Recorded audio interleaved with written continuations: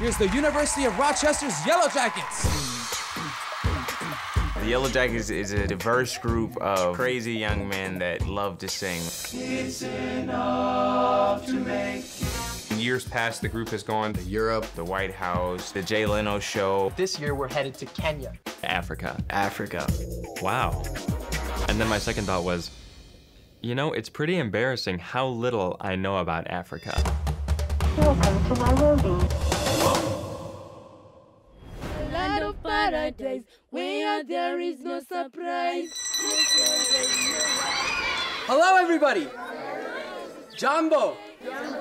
We are here to share with you our American music and to learn your Kenyan music.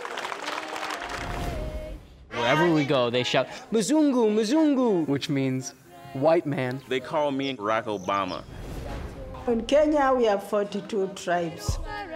There's a lot of poverty caused by AIDS. My mother died when I was in grade 5. A couple people lost it. I almost couldn't look.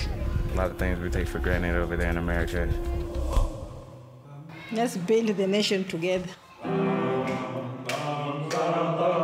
There's no easier thing to make people do together than sing.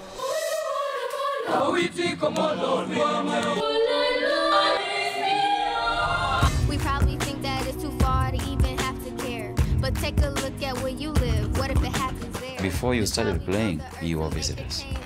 But immediately you started singing and playing, you became now brothers. A cappella is not like other music. You don't need to go out and buy an instrument. You just need to be alive and breathing.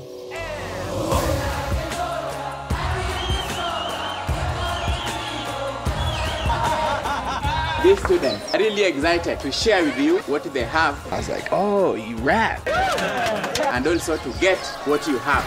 The musical exchange imprinted a lot more on us, I think. Shall have a very big day here. Day of music.